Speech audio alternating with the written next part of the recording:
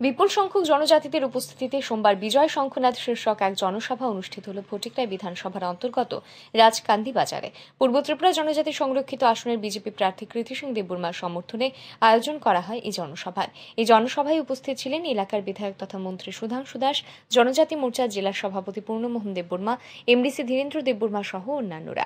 এদিন বক্তব্য রাখতে গিয়ে মন্ত্রী সুধাংশু দাস বলেন, সিপিআইএম শুধু স্লোগানের রাজনীতি করত। কেননা তারা জানত যে একমাত্র স্লোগানের রাজনীতিই তাদের এই শাসনকে এগিয়ে নিয়ে যেতে পারবে। লড়াইয়ের স্লোগান দিয়ে রাজ্যের মানুষকে বিভ্রান্ত করত কমিউনিস্টরা।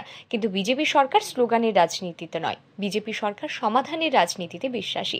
চৌত্রিশ বছর ধরে এই রাজ্যের বুকে রিয়াং শরণার্থীর অস্তিত্ব সংকটে ভুগছিলেন। কিন্তু দু হাজার আঠারো সালে রাজ্যে বিজেপি সরকার প্রতিষ্ঠার পর বিপ্লব কুমার দেবের প্রচেষ্টায় এই রাজ্যের বুকে রিয়াং শরণার্থীদের পুনর্বাসন সম্ভব হয়েছে।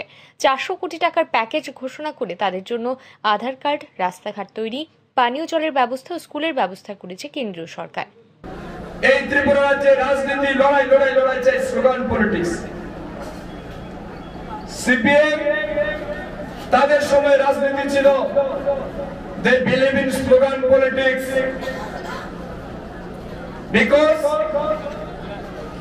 they think then only slogan politics can continue their role এই কারণে তারা স্লোগান পলিটিক্স করতো, মানুষকে ডিপ্রাইভ করে।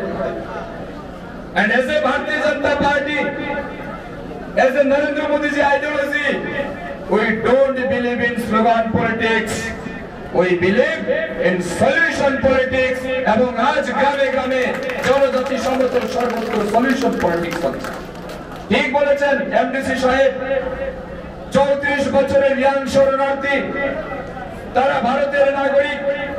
মিজোরাম থেকে তাদেরকে তাড়িয়ে দিয়েছে। তারা ত্রিপুরার ওই মিজোরাম বর্ডার আমাদের বাঙ্গুন কাঞ্চনপুর দশদার এরিয়াতে এসে বসবাস করছে। আমাদের দিলেন চিফ মিনিস্টার বিপ্লব কুমার দেব।